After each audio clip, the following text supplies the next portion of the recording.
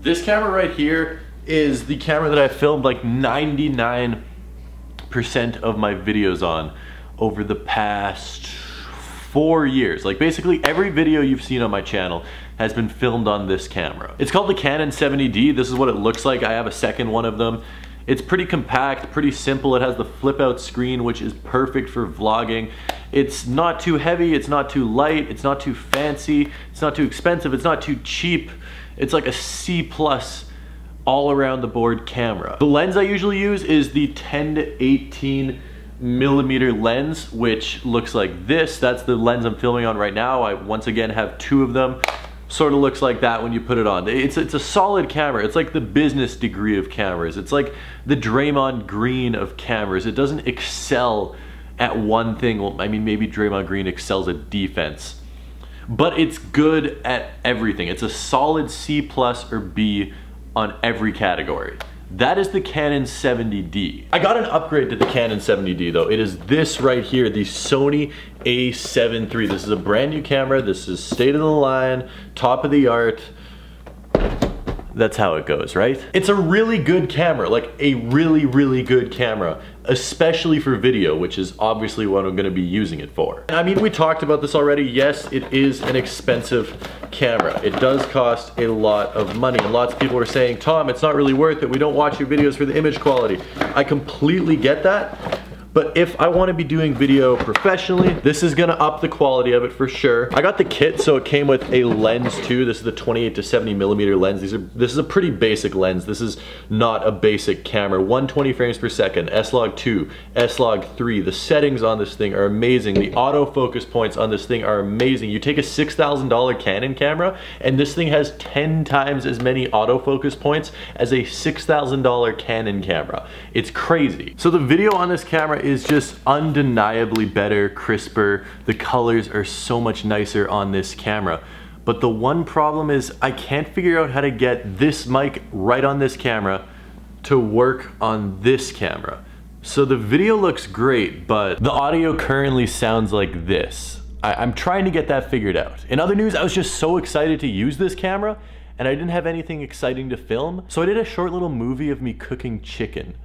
It looks weird, and it's a boring video, but the visuals are amazing.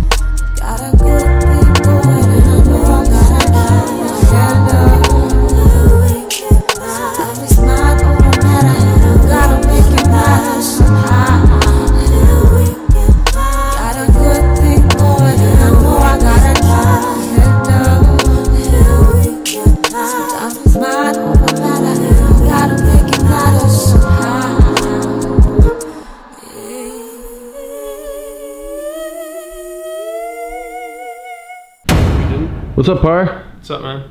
How you doing? Great. You want to see someone sick? Sure.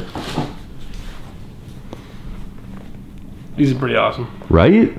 I really, really like them. I'm surprised that nobody was there to buy them. Like, Yeah, there's Overnight. two other people besides me. And they're probably still sitting there. I honestly sort of want to go see if they're still sitting there. This feels pretty good. It feels really good. It's really windy outside right now, so I'm not sure how well you can hear me. But this new camera is really awesome. I just need a wide angle lens for it. So we're going to the camera store right now to get a wide angle lens for it. Sounds good? Oh, yeah.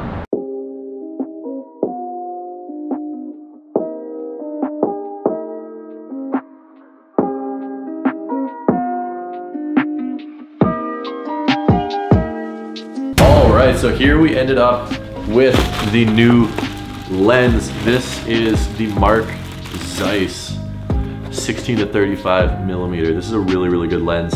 Uh, Jacob Star shoots on Zeiss lenses, so I mean, I'm not the photographer he is, except now I have the same lens that he does, and I'm super excited to use this. The lens that I'm filming with right now is a 28 to 70 lens, so it's it's pretty versatile. You could get sort of vlogging type shots, and you could also get more B-roll and zoom in on some stuff. This is a 16 to 35 lens, which means the 16 millimeters is basically just how far out you can zoom. So this is a pretty wide lens. You can fit a lot of stuff in it. It was expensive. It was $1,700 after tax. It was probably around 1,850 and then I spent another $110 on this UV filter for it, which like this is, oh my goodness. I don't know how much it actually cost them to manufacture, I don't know how much it actually cost them to manufacture these things, but I paid $110 plus tax for this piece of glass. Literally, that's it. Paid $110 plus tax for this piece of glass. It's like $124 for this. That is insane, but you need it because if you scratch your lens, you're sort of screwed.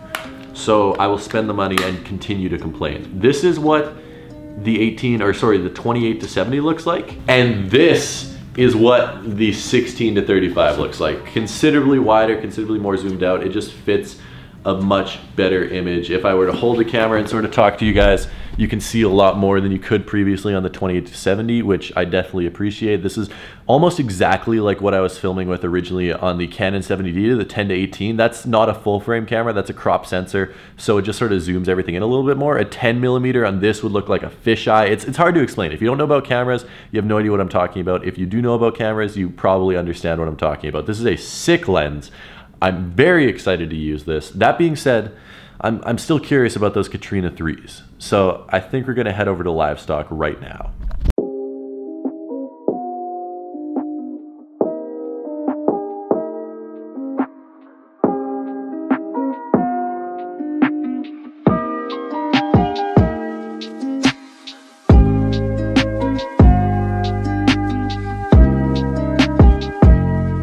Um, yeah, so there's there's no Katrina 3 sitting here.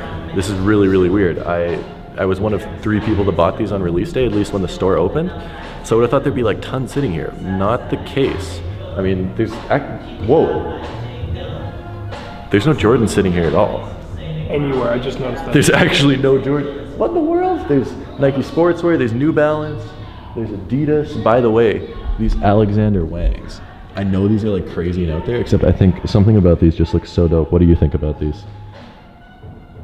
I like these laces, man. Wang's doing a good job. Wang's doing a good job. It's a classic model. I don't know. I wouldn't really wear it because I'm not a gangster or I'm not a 15 year old girl. So Are those the only people that can wear all white Air Force Ones? Gangsters and 15 year old girls? people I've seen wearing them. So Yeah, that's fair. That's fair. It would go well with this beautiful jersey. By the way, they're gonna win. This is not a Rondo jersey. This is a Partap jersey signed by Jason Terry. That's pretty chill. Kind of on the team. So it's actually sort of crazy that they don't have that here. But I mean, what can you do, right? I I got the pair, so I don't even know why I'm surprised or complaining. They, they do not have the Katrina Jordan 3s here, in fact. That being said, love you guys from the bottom of my heart. Thank you so much for tuning in today. I appreciate you guys. Let me know what you think of the new lens. I think it looks freaking smexy. I really enjoy it. It looks amazing. And I'll be using it pretty much now till the end of time, at least for the shots of me filming. I might get a sick lens for some B-roll and some photography. We shall see, we shall see. I hope you guys have a great rest of your day.